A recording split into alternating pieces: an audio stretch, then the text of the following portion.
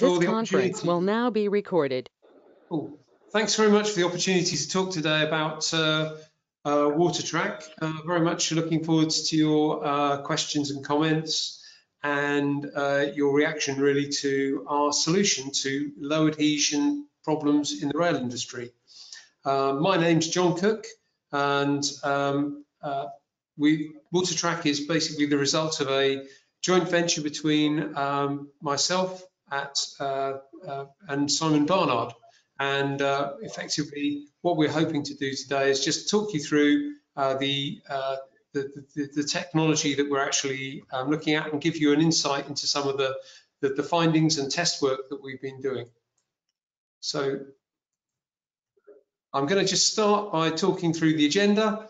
Um, first of all, we're going to have an introduction section. We're very lucky to get uh, some uh, scene setting help from Rob Cummings from Northern today. Um, we'll also just, uh, Simon and I also just, just do a quick introduction uh, just to explain a bit about uh, how we got to the situation where we're involved in the rail industry. Um, we're then going to talk a bit about the science behind Water-Trak, hopefully not too much on that topic, but we'll give you a bit of an insight into um, some of the fundamentals behind the Water-Trak solution.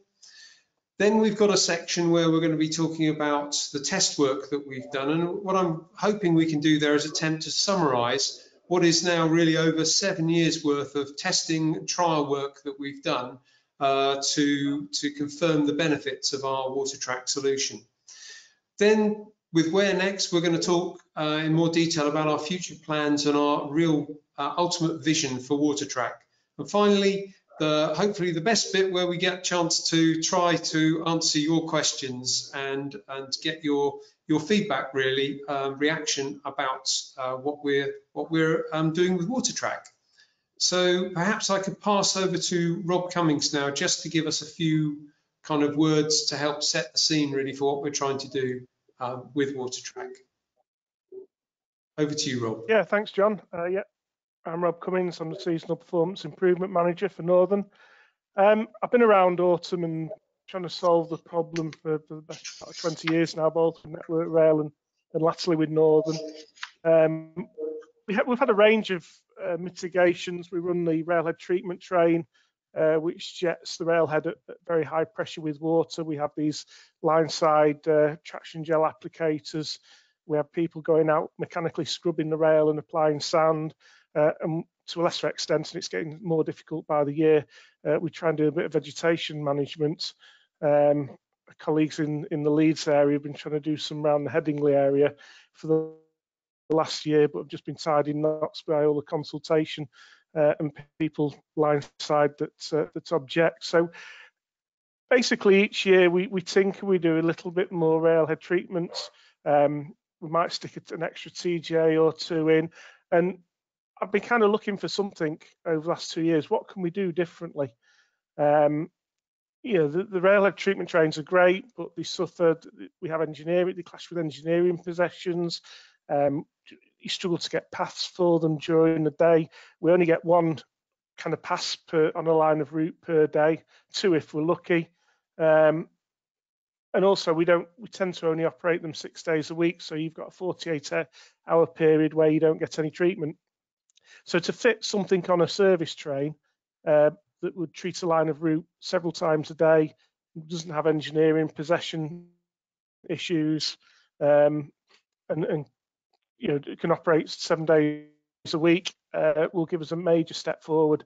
Uh, and this is what we're hoping to gain with water Water-Trak. So uh, I'll let John and Simon uh, crack on with the presentation.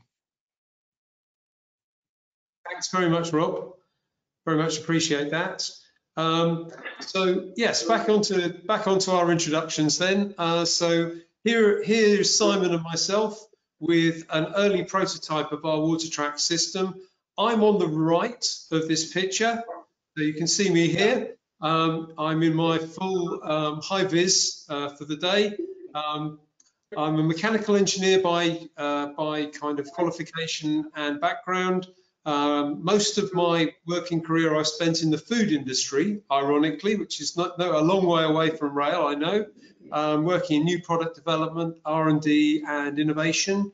And uh, recently, you could describe me as a rail industry convert uh, with the work that uh, we've been doing on Water-Trak. So I'm now just going to pass over to Simon to say a few words about himself. Okay, thanks, John. So I'm the one on the left. Um, to complement John, uh, sorry, I'm Simon Barnard. Uh, to complement John, my background is actually uh, electrical electronic engineering. Uh, started my career in uh, automotive, but probably for the last 30 years or so, I've been working in training and consulting uh, in new product development and innovation, collaborating particularly with John for the last 10 years. And as he said, for the last seven years, focused very much on the Water-Trak project, which you're going to hear about this, this afternoon. Great, thanks very much, Simon. Uh, so that's the team behind Water-Trak. Uh, and uh, what I'm now going to kind of move on to, as, as promised, I'm going to start to just talk a little bit about the science behind the Water-Trak uh, system. Right, so if we wind the clock back to 2013, uh, Simon and I were commissioned by uh, RSSB to conduct a study into technologies and solutions that would address the rail industry problem of low adhesion. This is what RSSB described as a horizon scanning study. So it's looking into the future to see what exciting emerging technologies might be there to, to help us in the future. So at the end of this study, we presented a whole range of potential technologies and solutions. But during the study, we also uncovered some research from um, from as far back as the 1970s that was conducted by British Rail Research, which at that point was a, a world leading organization for understanding rail industry issues. And when we went through the research papers that were done at that time, we realized that they'd already identified uh, a critical role that water plays in adhesion. What they discovered was if you have a dry, contaminated rail. So you've maybe got leaf matter on it or oil, or you've got um, you've got maybe oxides on that, that rail surface. You can still get very good adhesion while that rail is dry. If you have a soaking wet rail, such as you get in very heavy rain, uh, then you still get, surprisingly, even with the contaminants present, very good adhesion. But if the rail is very slightly damp, such as you would get with dew, light rain, um, possibly when you've got, uh, you know, maybe mist and so forth, then that can create very, very low adhesion conditions. And that's, they, they identified this kind of critical point where the adhesion effectively dipped to an incredibly low value. Um, so we we discovered this and for, for we presented this back to the rail industry and we, Simon and I were both a bit frustrated because there were no takers. Nobody was interested in this technology. Um, everyone wanted to research other sort of slightly more interesting esoteric um, ideas. Um, but we wanted, we, we felt that it was really important to take this further. So we then were lucky enough to be able to be awarded some funding where we could work with the University of Sheffield to do some rig-based studies. And what we discovered in the lab, you can see here on the, the right-hand side, with a small traction rig, is that if we had leaf contaminated um, rollers in this rig, we had a very low traction value. The traction value is equivalent to the friction that we're seeing. Um, but when we added water, so like adding bulk water to that situation, we could create an almost immediate step change improvement in the traction value that we were seeing, which lasted in certain situations for quite a long period of time afterwards. So we found that even, a, and this turned out to be quite a small amount of water, that can actually transform the traction coefficient when we created these low adhesion conditions. So this got us quite excited and we thought, well, okay, this works well on the rig, but what would it be like in full scale, um, in full scale conditions? Would it still work if we scaled this up? So then we were able to uh, get some further funding and again working with the University of Sheffield, we ran some trials using uh, a rather ancient uh, class 117 DMU. Um, and we were able to create some very slippery conditions on the track at Long Marston using leaves and also to a small extent paper tape. And in these very slippery conditions, we were able to demonstrate that a small amount of water could transform the braking and traction that we were getting. On the left-hand side here, you can see this is the prototype system that we bolted to the front of the DMU. It's, it's, uh, it contains a pump, it contains a pressure accumulator and some small elements of control. On the right-hand side, we have a graph of braking distance. You can see in meters, and we can see three different conditions. This is untreated with water, so this is just braking on the leaf layer uh, and seeing how far the train slides. We're running at about 25 miles per hour in this condition. And um, you can see in this area here, we were getting some rather long slides, up to 125 meters in times, but also a lot of variation in our braking distance. When you look at what we were able to do when we added water, you can see that in equivalent conditions, we were already getting significantly reduced braking distances. So this was uh, demonstrating again this step change improvement in braking and also traction that we could get in low adhesion conditions.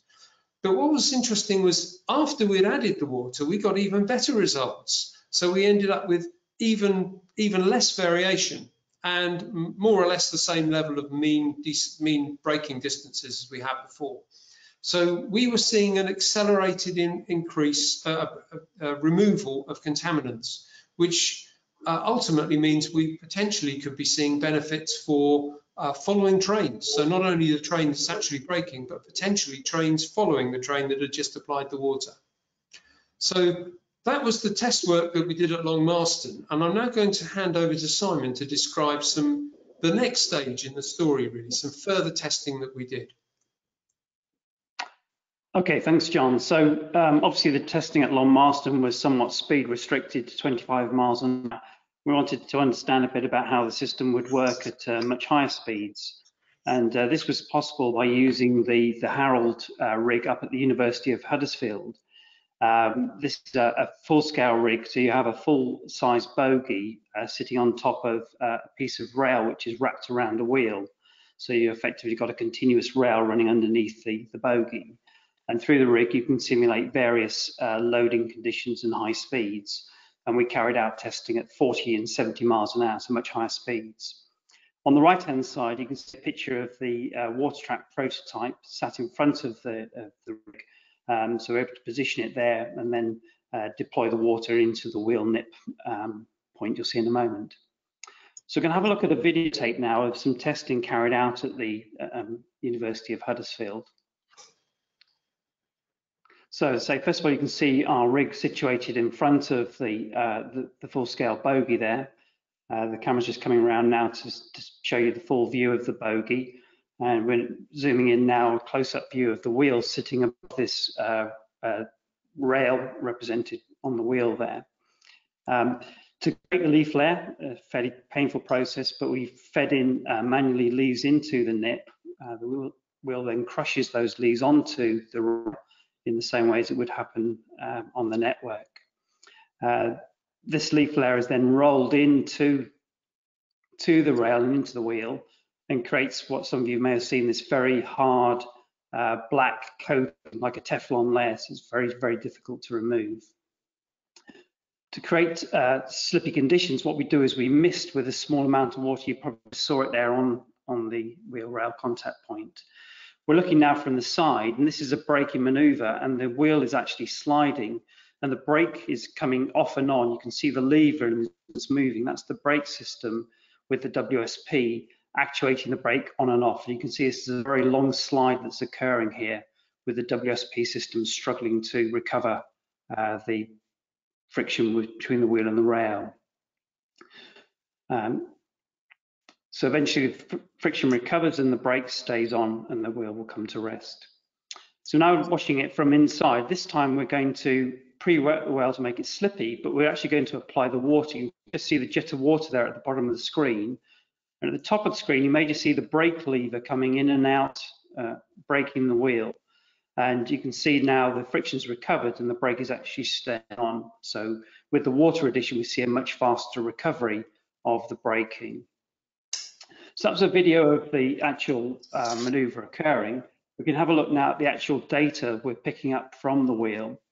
So this is the graph showing the creep, the creep being the difference in speed between the, uh, the rail and the wheel. And you can see that uh, as the braking maneuver starts, the wheel uh, breaks away and we have a creep of um, 20%, which is the set point for the wheel slide prevention system. So um, you can see the braking coming in and out with this speed going up and down as John's showing you there. Uh, so this creep continues for uh, close to 30 seconds, so a very long slide. to represent the train sliding a long distance um, down the track. And this is a picture of a braking maneuver on leaf layer without the addition of our water. We can then contrast that with uh, a water addition trace. Uh, so you can see now, again, the, the wheel breaks away. Uh, when we see the WSP signal, we trigger the water addition. So water is applied where the red arrow is. And you can see the, the, the, creep continues for a while, but then recovers much more quickly. So within about uh, 12 seconds or so, the speed drops back down and the wheel is no longer sliding relative to the rail. So the addition of water has given us a much faster recovery from uh, the slide, 30 seconds reduced down to 12 seconds in this particular example. And we did various tests with leaf layer and also simulated uh, using paper tape, which gives very extreme um, slide conditions. And we saw very dramatic reductions in the time for recovery using the water system. So this was confirming what we'd seen at Long Marston, uh, 25 miles an hour at both 40 and also 70 So very encouraging. But we also uh, discovered uh, a little bit more about this, this cleaning effect that John was mentioning. So here's a, a, a picture of a further braking maneuver. This is again on leaf layer um, without water addition. You see the creep curve going up to 20% and not as long as the previous one you saw, but still some the order of 14 or 15 seconds of slide occurring. And then the wheel recovered. Um, we went back into the rig to, ready to, to apply a, new leaf layer and noticed that you can see in the picture there that there's still some of this black um, leaf matter rolled into the wheel and rail um, surfaces. So it, even after this braking maneuver, there's still some retention of the contamination. So we, we tried uh, braking again on this surface. So we, we kept the same, uh, didn't add any new leaves, kept the same conditions and ran the braking again. And as we misted with the water, we had three further uh, excursions, so three further slides occurring on the same surface. So you could imagine this would be following trains coming down the same piece of track, experiencing again the same slide that the first train did. So the, the slippy conditions re, were, uh, remain um, over several braking maneuvers. Uh, we then created a new leaflet and this time applied the water. And as before, you can see the water gives us a fast recovery.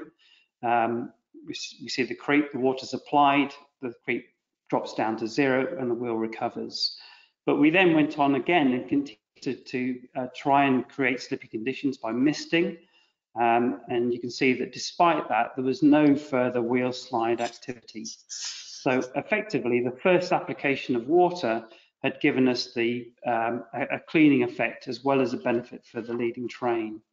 So this was an important learning for us about the fact that we're not just benefiting the train with the water addition, we're also providing benefit for further trains and that's starting to lead towards what Rob was talking about in the introduction, the possibility that maybe service trains could actually start to take over the role of the railhead treatment train.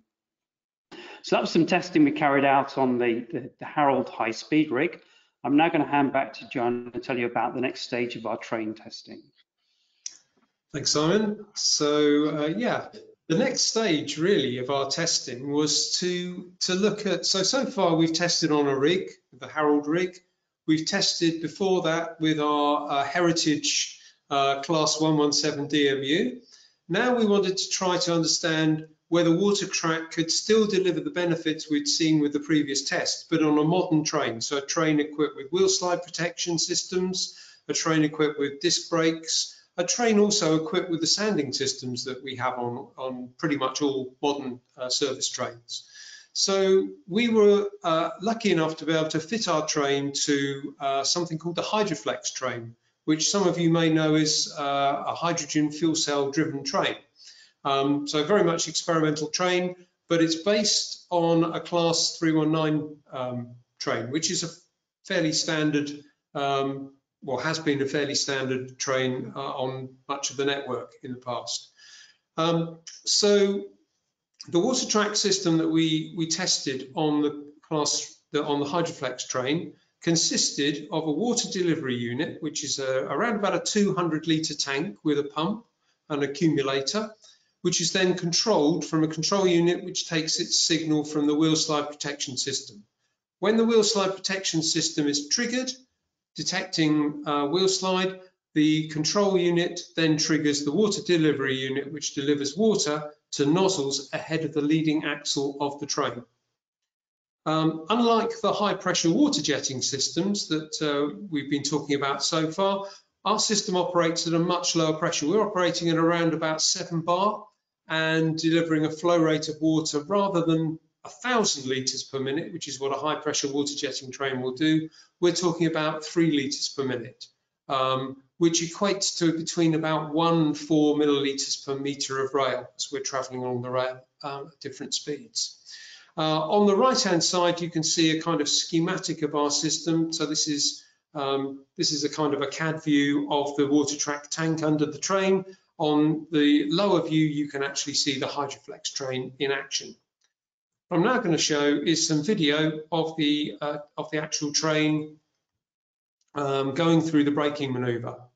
So uh, what we have here is the view of the, uh, the wheel as it slides in the upper view here without Water-Trak and it rolls in the lower view here with Water-Trak being delivered um, on the actual train itself. So you can see, hopefully it's not too steppy, you can see that we've been rolling pretty much all of the time here with the Water-Trak system, whereas we've been seeing quite a lot of slide on the system um, on the view above. You can also see that we've pretty much come to a standstill now with the Water-Trak system, but we're also roll, still rolling along without Water-Trak being operating. Um, when we look at this side by side, so here we have again the train on the side view of the train uh, coming to a stand. Um, the top view is with again without the Water-Trak system. You can see that we're actually braking over a longer distance. On the lower view, you can see this is with water track, and we end up stopping the train here in around about 76 meters, as opposed to 97 meters in this case without Water-Trak. And uh, you can see that we've effectively got uh, dif distance difference there of around about 20 or so meters, which equates to, you could think of this maybe as a station overrun of 20 meters, so the length of entire carriage potentially that we might have if we didn't have the Water-Trak operational in those conditions. So just kind of summarizing the um, kind of testing that we did here, what we have on the left-hand side here is a uh, basically a, a, a, graph showing deceleration in percent G, um, going from lower deceleration to higher deceleration. And here we have stopping with just the sand being applied. So during these trials, we had the sanding being applied at all times. But in this case, we in the other side, you can see this is decelerations we achieved when we delivered water and sand. So we're looking at keeping the sanding system on the Hydroflex train operational, but also adding water to it to, to see whether that gives an enhancement. And you can see on the left-hand side here that with these results here, we're, we're, we're below 3% G on our deceleration, which is which was fa fairly scary braking, in fact even though we were only braking from around about 18 to 20 miles per hour, the driver was really struggling quite often to bring the train to a stop. Um, and sometimes he was struggling so much that he had to interrupt the braking maneuver and let the train roll on a bit further till it passed the section of track that we'd created, which was low adhesion uh, track, so he could get a better, better deceleration. Um, Whereas on this side, you can see with water and sand, we're significantly improving the deceleration. Incidentally, better is lower down in this particular graph. So if you go further down the graph, that's better deceleration. Um, and you can see that we're getting much better braking when we're adding water in conjunction with the sand. So we're seeing a big improvement in braking performance. And in fact, we're looking at somewhere in the region of 1.8% G increase in braking performance just by adding water in these contaminated rail conditions. On the right-hand side, you can see a time series so a number of different runs on the same section of contaminated track. with just sand on its own. Uh, this is the, the, kind of brownie trace, and with water, Water-Trak and sand on this lower trace. And what you can see here is not only do you get this improvement for the first braking maneuver, but you also have a sustained um, improvement uh, as you go through the the, the, the, various different following runs. And you see this accelerated cleaning improve effect that we've been describing earlier, um, because you can think of these runs potentially as following trains. So that again was very exciting for us to see this as a, as a conclusion from that testing. So having got really promising results from those trials, the next step was to move from the test track to the main line. Um, admittedly under signal protection, but onto the main line nevertheless. So last autumn, we had the opportunity to uh, fit our prototype system, our Water-Trak system, at either end of a Northern Class 319 service train. So we fitted this in October last year, and, and after fitting, uh, the train actually ran for 16,000 miles before the system was removed in January with no reported issues for the train or the infrastructure. Uh, as I mentioned before, the train was only uh, the system, our Water-Trak systems were only operational during trials on the signal protected zone. Um, but that was really promising because it, it, demonstrates the robustness of the actual system that we had fitted to the train. Um, the other thing that we were able to check out was how the uh, Water-Trak system would fit with procedures in the depot. And we, the feedback from this was that it fitted extremely well. It, it worked very well within the existing procedures in the depot. The equipment that we needed to fill the tank was uh, already available, readily available and, and routinely used. And uh, the procedures that we, we followed very much, they fitted very much with the standard operational procedures. So that seemed to be a very uh, well integrated um, solution as well from that point of view. So what I'm going to show you now is just a little, just to illustrate this system on the train. I'm going to just show you some slow speed um, train running um, in the depot, just to give you an indication of how the system looked on the train. So here you can see the train. You may just be able to see at the bottom here some uh, water being sprayed. Now you've got a slightly easier view. You can see the water coming through there as we go um, over the camera. You've now got a side view. There's the water being dispensed. And then you can see um, multiple axle passes as we pass the same section that we've just sprayed um, with the water. So you can see uh, we're not got the full length of the train going through here, but the train's going to go multiple axles uh, until it kind of comes to a stand. Um, I think it's going to stop fairly soon. There we are. Uh, what you got to draw your attention to is the track was still quite nicely wetted even after all those axle passes. Then you can see the system installed on the train here. Here's the pipe run from the uh, water system down to the nozzles. The nozzles are mounted on the lifesavers ahead of the leading axle of the train.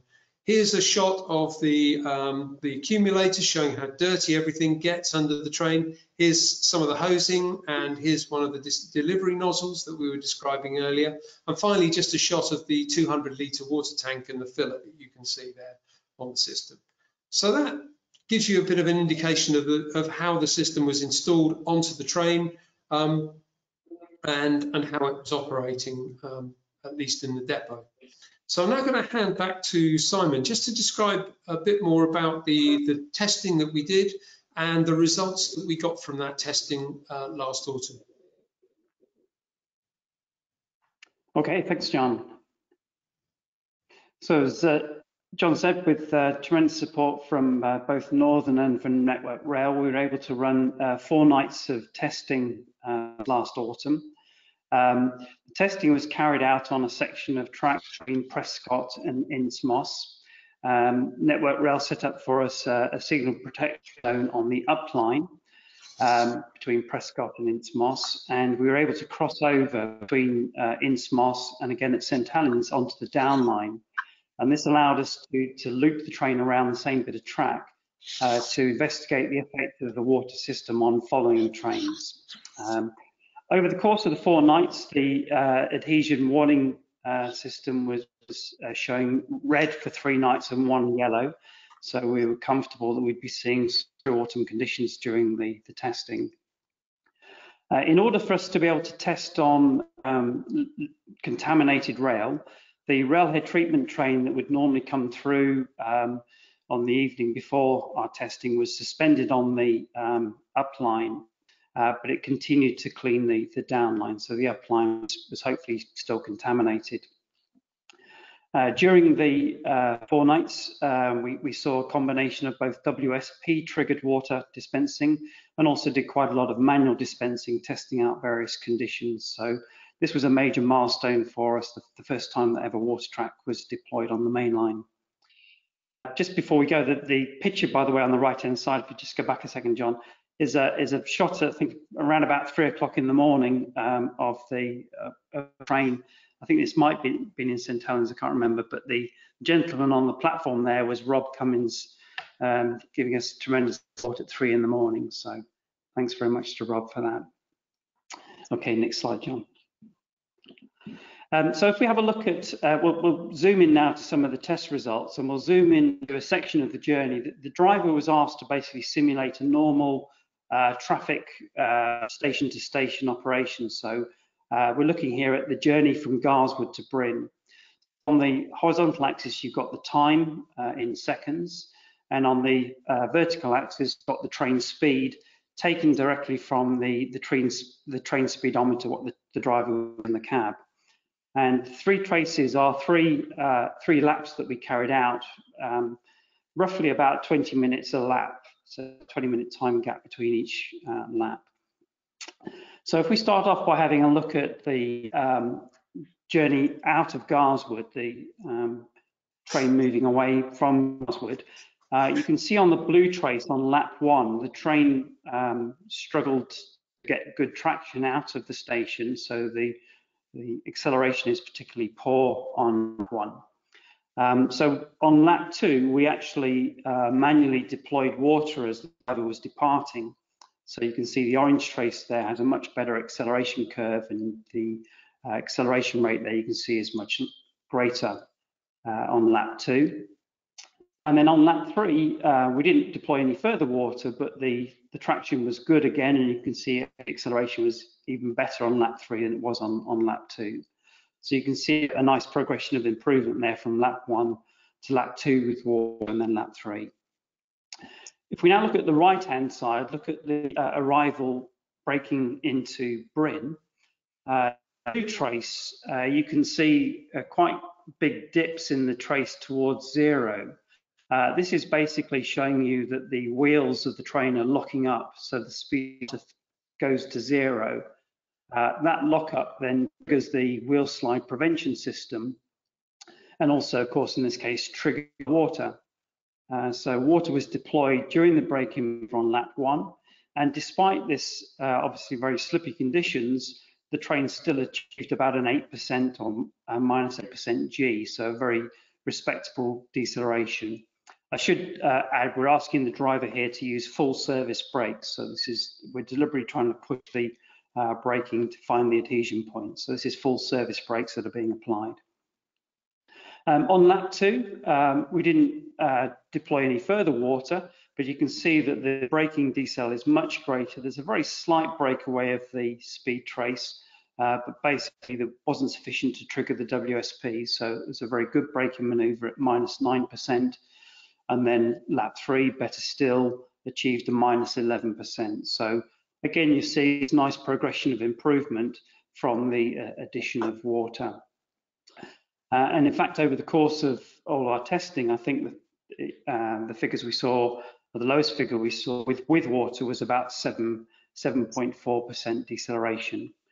I should mention that during the testing, we did see some decelerations as bad as 3%, um, where we weren't allowed to deploy water. That was on the down line, which was interesting, of course, the line that had been cleaned. So it's a slightly uh, interesting to note that the cleaned line she gave worse deceleration figures than the non-cleaned line, but that's a, maybe another discussion to be had.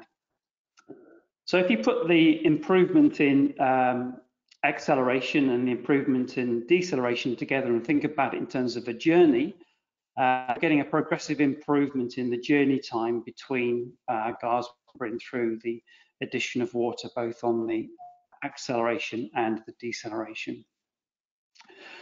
So as part of the uh, trial, Northern were able to provide us with quite a large data set of journey times, uh, not just for our testing train, but for all trains travelling between Garswood and Bryn. Looking here at um, a summary of the journey times between Garswood and Bryn for the Class 319 train last year. So the top graph is looking at the uh, results from the summer, and the lower graph is looking at the results from autumn. And the uh, horizontal axis again is journey time. So the further to the right we are, the longer the journey time is. And the vertical axis is looking at the number of trains. So it's a histogram or distribution showing you the journey times. Uh, what should be pretty obvious is that the distribution at, at the bottom, the autumn distribution is shifted to the right by about eight seconds. So on average, the journey time between Garswood and Bryn is about eight seconds longer in autumn than it is in summer. Um, the other thing you can perhaps see from the picture is that the variation in journey time is much larger in autumn. It's not just about the average, there's more variation. And uh, I think it's something like about 6% of trains in autumn would be more than 30 seconds delayed. So it's both a, an increase in journey time and a variation, which uh, turns into the autumn problem that passengers experience with train delays. And of course, this is only eight seconds, but remember, this is just one station. Uh, accumulate this across any long journey, and you can very quickly see how this uh, causes uh, problems in the network. This is class 319. Um, the class 331 train also operates this same uh, section, more modern train, and the data that was very, very similar in terms of the shift from uh, summer to average. So we were able to overlay some of our test data, in fact, the data we were just looking at in the previous graph on, on these distributions. And so over the course of um, our four nights of testing, we saw uh, a range from good to bad um, conditions. So uh, the good adhesion, we had a night where we had very heavy rain, and uh, we think of heavy rain as being the nature's Water-Trak, if you like. We know that uh, rain helps the adhesion condition. Um, the red line, the poor adhesion, that was the example I uh, mentioned where we saw very poor traction, uh, sorry, very poor adhesion, um, and um, it gave this very wide variation and delays uh, and that was on the down line. And then you can see the uh, results where we applied the water, giving us a step towards the good adhesion and also much more consistency. And we know from, from this, this trial and from all the previous work that we would see a progressive improvement uh, with the water addition towards the, the good adhesion condition. So this is, this is showing us, uh, again, uh, some of the potential operational benefits that the water system can provide by improving the adhesion of, of the train and also following trains. Okay, next slide, please, John. Um, one of the things we wanted to make sure was, especially as the railhead treatment train had been suspended for the night of our testing, uh, and also just to understand uh, or make sure we're making no adverse impact through water deployment. We looked at all the journey times um, for the trains uh, through October and November. Um, so what you're seeing here is on the left October, on the right November. The vertical axis is journey times, and all the dots uh, represent uh, train journeys occurring on each day to the 11 a.m. mark, which is where the railhead treatment train passes through. Um, red lines, uh, the 28th of October, 11th, 18th, and 25th of November, are the mornings after our testing. And you can see if you look across there that there's no uh, adverse impact um, of the Water-Trak testing. You don't see a, a, sudden jump or increase in the journey times. So this reassured us that uh, we weren't causing any impact through the water system. And I guess the other interesting observation is it, it doesn't seem to have been um, negative that the railhead treatment train didn't pass through. Um, so I, either we've uh, compensated for the railhead treatment train or the railhead treatment hasn't had a, a, a big impact. Um, next slide, please, John. Um, we also, uh, one of the other ways we were interested in looking at the data was by looking at the journey time by time of day. And uh, you're seeing this is class 331 data, still between Garswood and Um, and on the left-hand side, you're looking at the summer uh, results. And on the right-hand graph, we're looking at autumn results. And on the left-hand graph, first of all, you can see that from early morning through to late afternoon, early evening, there's really no change in the journey time. Uh, it's, it's staying consistent all the way through the day, with perhaps just one exception, the late train, the, last train of the night, does seem to have a long journey time, but little difference as you go through the day. When you look at the right-hand graph, which is the autumn data, you'll see that there is actually a, a trend occurring showing in the morning, late morning, we have the uh, quite long journey times, reducing through the day and then increasing again as we go towards the evening time. And this perhaps reflects um, the moisture level, the dew level, or the moisture that's, that's on the railhead, which is high in the morning and high again in the evening. So this is uh, showing perhaps the effect the moisture content, which we know is critical in affecting the um, adhesion on, on the track. Uh, interestingly, if you just advance the slide, John, uh, if you overlay the railhead treatment passes, which on this section of rail occur around about 11 o'clock in the morning and overnight, um, you don't see a very dramatic impact of the railhead treatment trains. There's perhaps a very slight improvement from the 11 o'clock train. There's no obvious improvement of the overnight train. So it does just put a little bit of a question mark over the impact of railhead treatment trains in terms of their impact on adhesion. We know, of course, that railhead treatment trains are also dealing with track set issue as well. But uh, on the adhesion side, on this particular set of data, there's no obvious benefit being shown of the railhead treatment trains. Okay, so that's some of the data. Uh, one of the very important things and pleasing for us was the driver feedback. Um, I think it's well known and understood now. One of the big impacts um, of autumn or causes of the autumn uh, change is the, the way that drivers uh, drive the trains in autumn. Um, and it's very important, therefore, that the driver has confidence in the uh, in the system and in the adhesion that he's going to get from the braking system or he or she is going to get. Uh, so this was some of the, the positive comments that we got from drivers both in on the Hydroflex train and also from the um, northern testing we did this last autumn.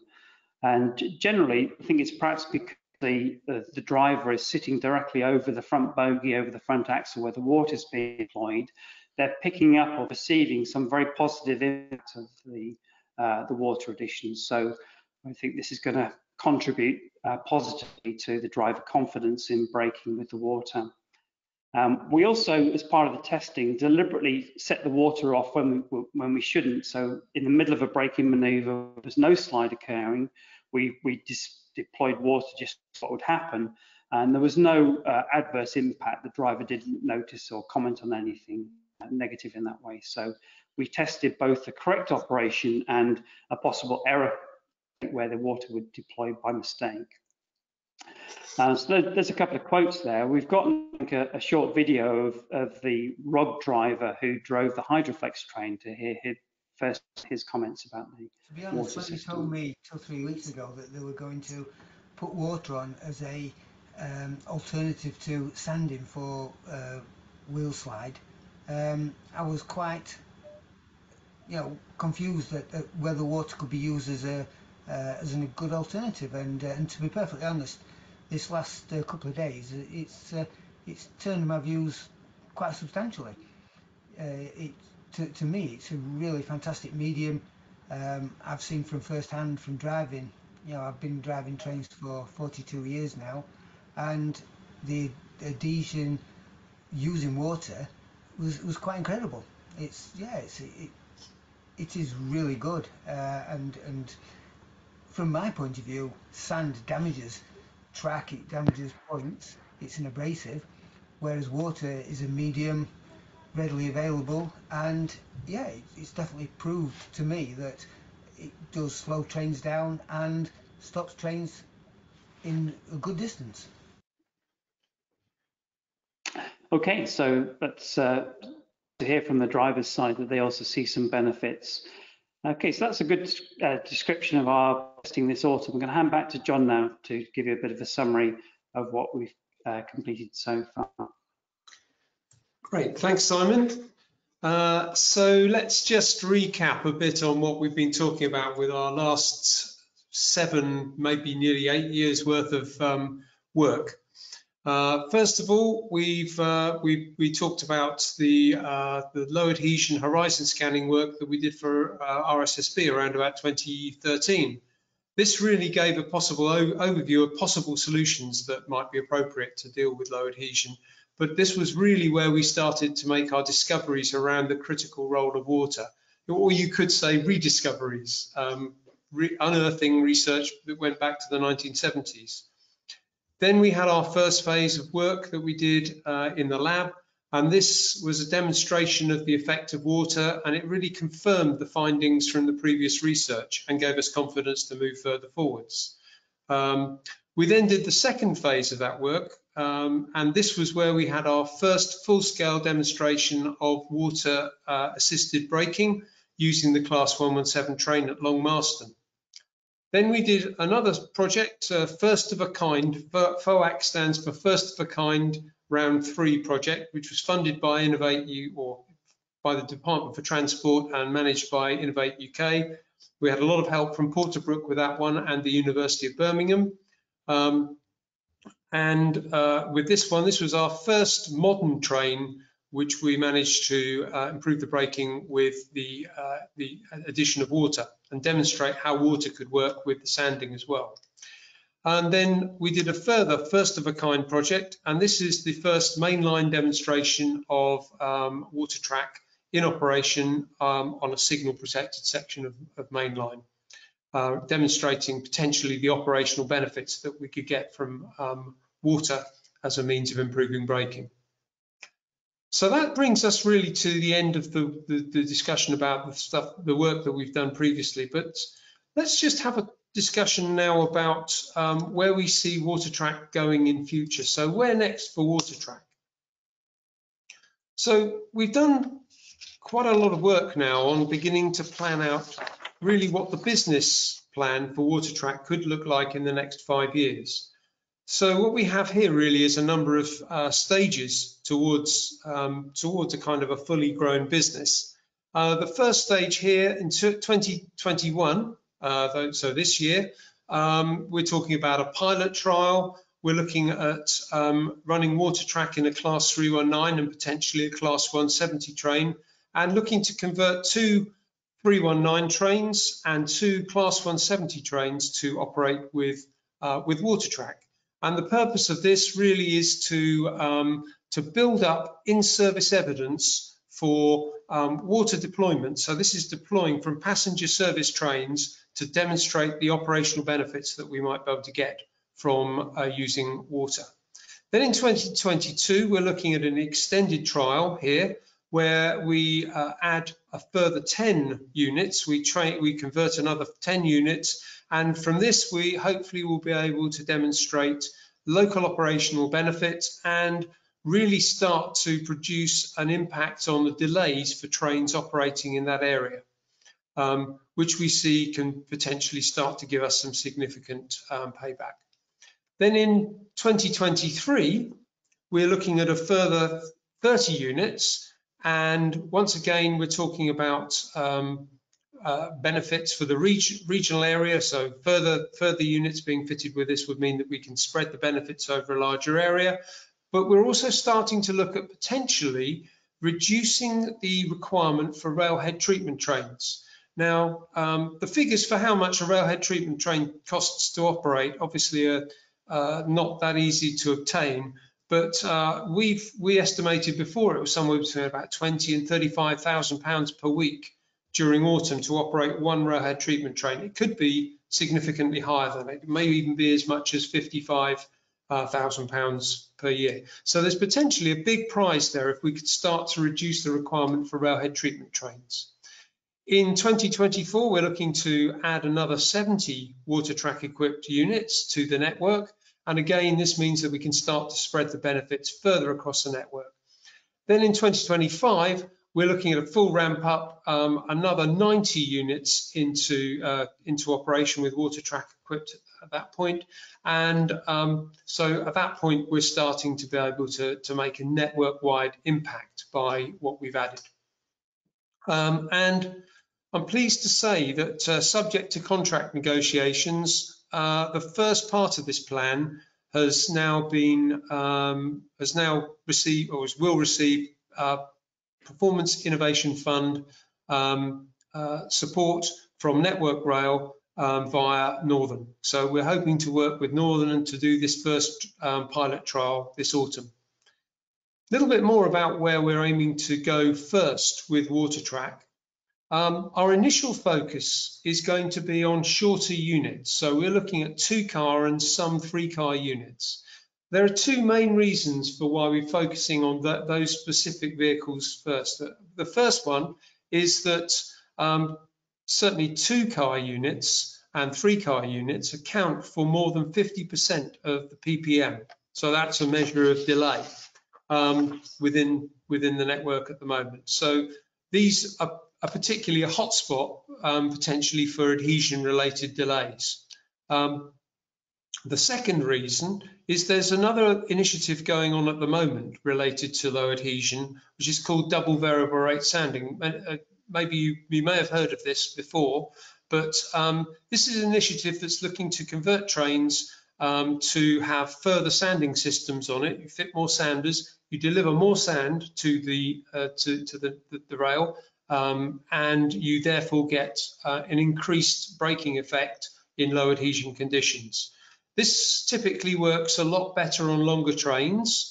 First of all, trains where potentially you've got more room to fit uh, the double variable rate kit. And secondly, on trains where, uh, where you've got uh, sufficient um, axles to be able to, to benefit from this. Um, you can't really fit a double variable rate sanding system onto a two car unit, for example. Um, so uh, we, we, think that we have a potential niche opportunity to apply um, Water-Trak on um, shorter units. As I said, two car and some three car units are our kind of initial focus. Um, in terms of the payback for the for the industry, um, we're focusing here with our payback projection on just the benefit around reducing delay minutes. So what we've done here is we're um, looking at the payback related to some figures that we've derived from the double variable rate um, sanding business um, proposal and business plan. And we've scaled those down by um, a certain amount, which you can see in the small print at the bottom. Um, we've also assumed that the cost for our installed system, so this is two Water-Trak units installed at either end of, of the train. So per unit, the, pr the price for that is £30,000. And having done uh, quite a lot of cost um, analysis work on the Water-Trak system, we think this is a, a very achievable figure because fundamentally the Water-Trak system is a very simple um, system comprising a tank and a pump and some nozzles. Oh, and some pipe work as well. And um, dependent on which uh, case we look at, whether it's the upper case or the lower case on our estimates here, um, we see a break even here somewhere between 2024 and 2025. So we see the payback actually kicking in quite early in terms of what this uh, the Water-Trak system can, can give. So, and as I said before, this is just assuming reduced delay minutes. This doesn't assume anything to do with reduced railhead treatment train usage um, or any of the benefits related to other operational aspects that we might gain through um, improved train braking just purely delays. So just kind of coming back to where do we ultimately want to get to with Water-Trak? So I might have mentioned before, we see Water-Trak really as a distributed tr service train mounted railhead treatment solution. So we see Water-Trak improving the braking and traction robustness for the trains that are actually equipped with Water-Trak, but also we see the, the railhead cleaning uh, benefits that we've described earlier and Simon was talking about earlier, um, we see those benefits potentially for following trains and providing that railhead cleaning solution.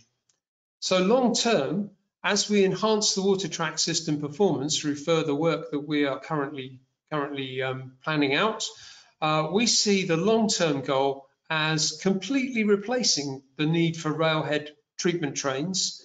Um, so completely getting rid of the need for railhead treatment trains and all the disruption that that can, that can provide, and also um, removing the need uh, ultimately for on-train sanding systems and all the complexity and, and, and other problems that arise from the use of sand. So that's really kind of concluded where we've got to with, with this presentation. I'd really like to open it up now for some kind of further questions and comments from, from the audience.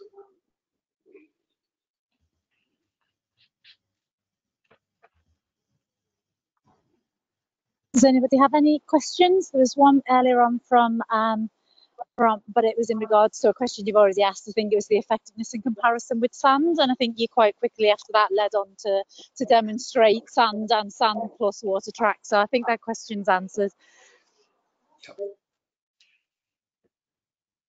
Uh, right, um, Dave, Dave Woods asked, are there any additional benefits for line-side neighbours, such as reducing wheel squeal?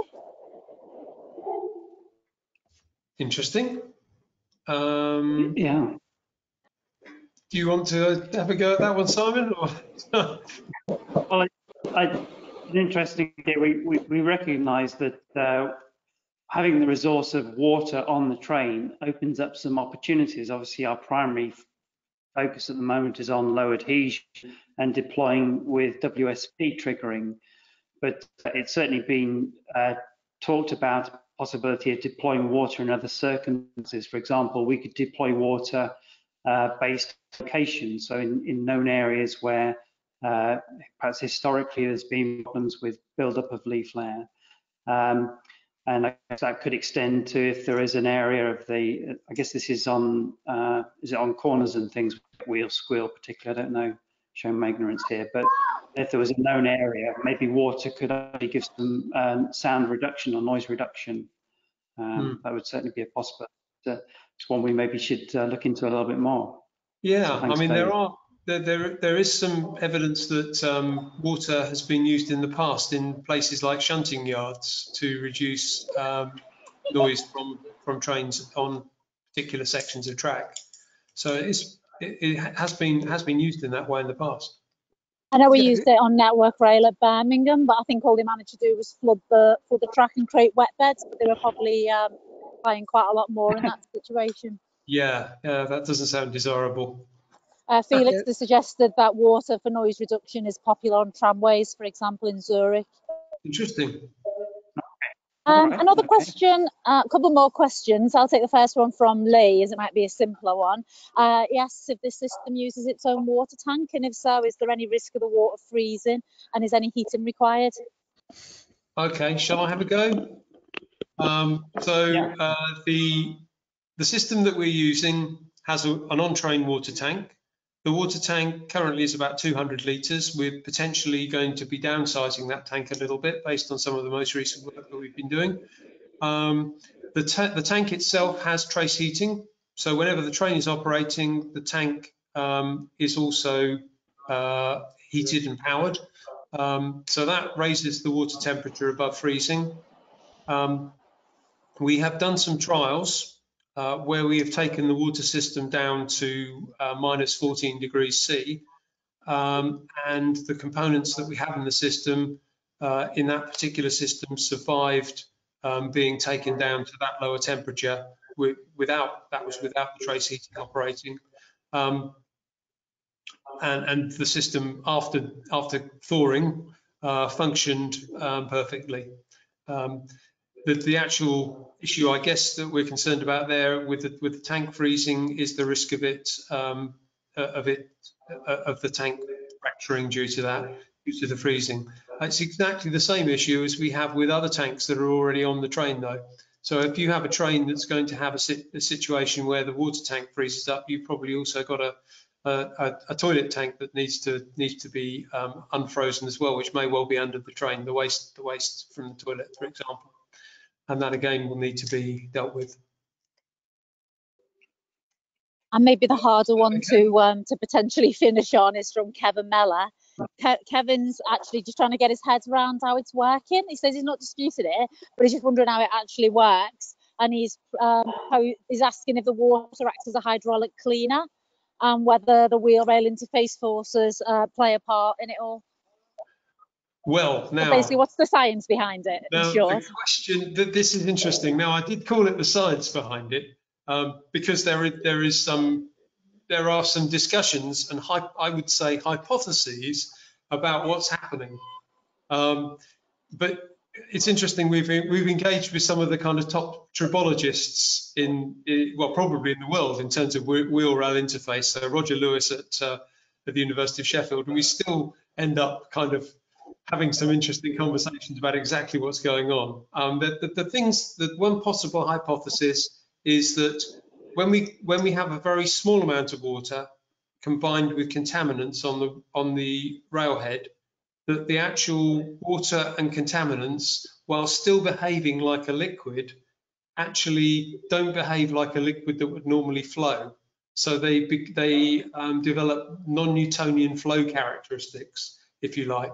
And there is some evidence from studies that the University of Sheffield have done that when you have a very small proportion of water in relation to the solids, you end up with very strange flow characteristics. So you effectively that the the, the, the, the this mixture shear thickens when it's when very high forces are applied to it, and it doesn't get out of the way, but it does become slippy. Um, that's probably the best theory we've got in terms of one aspect of how it works. But in terms of removal of contaminants, um, we think it's most likely related to the softening effect of water. Water will soften contaminants on the railhead, um, and it will also help those contaminants to flow away from the contact point if we've got a reasonable amount of water there. So we, we move back to normal Newtonian flow mechanics rather than um, unconventional and strange mechanics that, as I say, puzzle tribologists. I don't know, do you want to say anything, Simon? Uh, no, I'll go with that answer, John. That was good. But yes, it's a good question to ask. And a lot of head scratching usually results.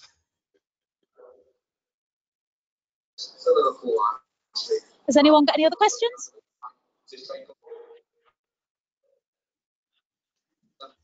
No, if um, if there's no more questions, can I hand over to Dave to say thanks, please? Thank you, thank you, Lynn. And well, first of all, Lynn uh, and committee, thank thank you for uh, letting the Manchester and Liverpool section join today. Uh, I think these meetings and the quality of the meeting today just shows how informative some of the PWI section uh, briefs are now, and, and, and the wealth of information that's available. And I think this will this will add to that uh, knowledge that's on the YouTube site. Um, so thanks to, to John and Simon. And briefly, I think Rob Rob made a, an appearance today, so thanks to Rob. Uh, a really informative and well presented presentation. Um, touching on some of the innovation, uh, looking at kind of the source data and, and building on that to work through. I, really didn't believe I was going to be hearing non-Newtonian flow uh, being mentioned today, which which I have done. But the, the innovation, I think, is know, just uh, getting that out to, to, to, colleagues within the rail industry, at least knowing that this uh, opportunity is out there. Uh, I'm working on a current scheme at the moment where we're trying to find seconds from a line speed improvement. Uh, what you're proposing there seems to be at least a way of, of maintaining, uh, you know, line speed, journey time proposals as opposed to deteriorating throughout the autumn. Uh, and, and, it feels like it's a it's a logical way to to pursue that initi initiative. Also, I, I, kind of made a note of little did I know there was a a little test track at the outskirts of Wigan, uh, which I am located at the moment. So that was news to me, but that's uh, I'll speak to Rob about that. Uh, and yeah, I, I, I, noted that thing about wheel, wheel squeal. I think I have not been aware that, that that's been a key issue in some areas, and from a you know environmental perspective, maybe in in, in cities that this could be uh, an additional initiative. So uh, anyway, thanks again for a presentation. If I can ask the uh, attendees from both sections to, um, uh, if we can unmute ourselves and give yourself, uh, give you a round of applause to to, to uh, Simon and, uh, and John. Uh, and there we go. Anyone? Very good. Just me? Thank you very much.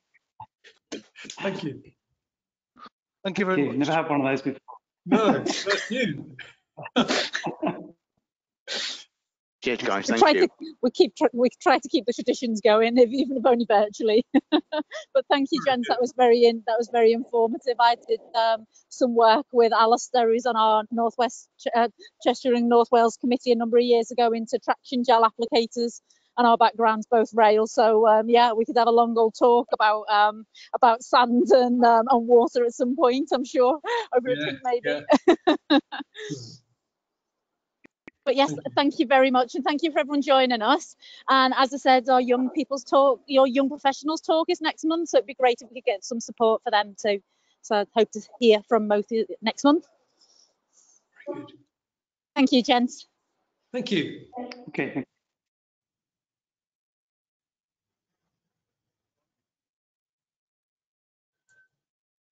Good evening.